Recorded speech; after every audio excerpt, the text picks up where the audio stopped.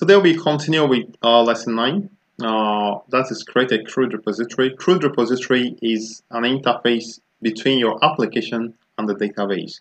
So all the data comes to the CRUD repository and from the CRUD repository it goes to your application. Interestingly, uh, there is an interface in, in JPA called JPA repository and we also have CRUD repository that extends JPA repository.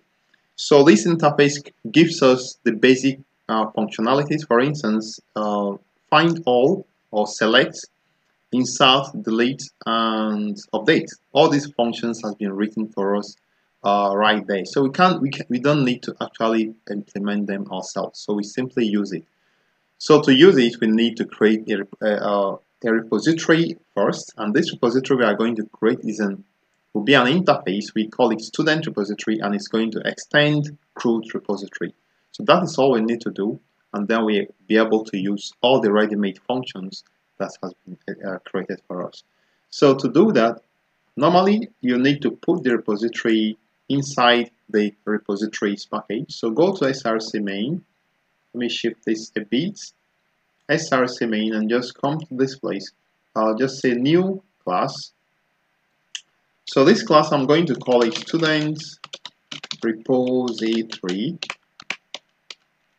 So we want to put this in um, this Oh, I actually should have created an interface.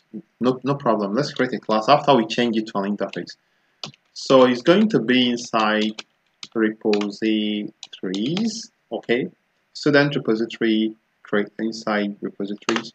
So again, if you miss out something, uh, you have this procedure for you to follow. So make it an interface. So instead of a class, call it an interface and make it extend CRUD repository.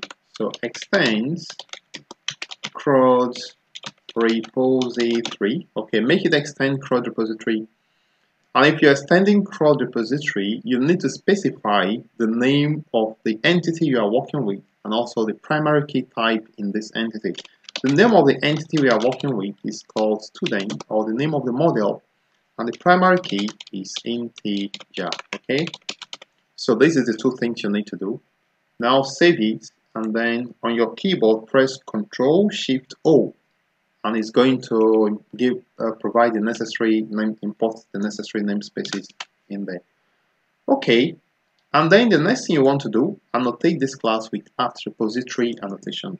So at repository and at repository annotation is available in the um, of the Spring Framework the stereotype. So it's a stereotype. Um, so Control Shift O on the keyboard.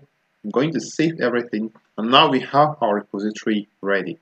So we are now moving on to step 10, which is uh, we are now going to be talking about creating a business service. I'd like to thank you for viewing, and let's now see the next lesson.